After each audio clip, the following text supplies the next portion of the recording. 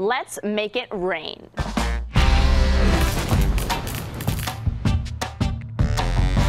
In order to alleviate drought conditions, scientists across the globe have been doing what they can to make it rain. And this is actually a real process that has been around for decades.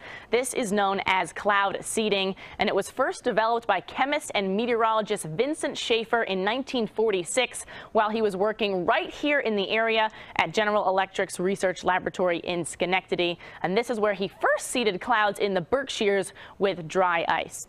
So how exactly does this work? Now, cloud seeding involves adding various chemicals to existing clouds in an attempt to increase the amount of rain that they produce. Now, using airplanes, drones, or ground-based generators, various chemicals, one of the most common ones being silver iodide, are released into selected clouds.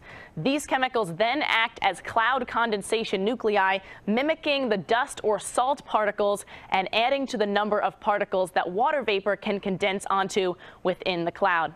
Now these droplets then grow as they bump into one another and eventually they will fall as rain. Now, although cloud seeding has been happening for decades, it is difficult to determine exactly how effective it is because no two clouds are the same and we are unable to know how much rain that cloud would have produced by itself before cloud seeding.